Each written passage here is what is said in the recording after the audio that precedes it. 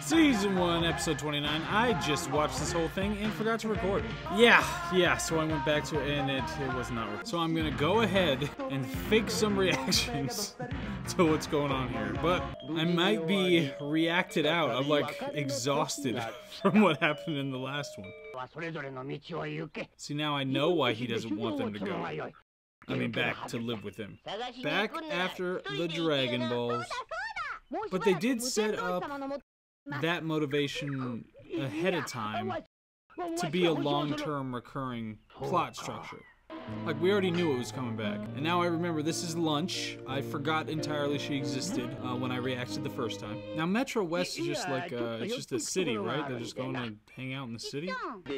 He'll run into one at some point. Another adventure, the Wandering Lake. And I made a crack about Kiernan going into business, something like that. And I said, dude, to, to Muten Roshi. Oh yeah, and he says for his, his granddaughter? That is really creepy.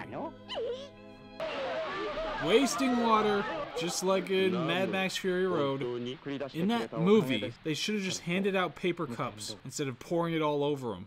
And this guy is not the guy I thought the guy was. It's a different guy who's part of the same tribe as that guy. Damn! Establishing lore. Pool party. Is that guy?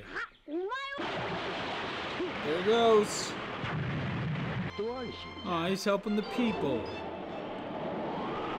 Oh yeah, and so we got the reincorporation of two characters that showed up for other reasons. So that's again good longitudinal storytelling.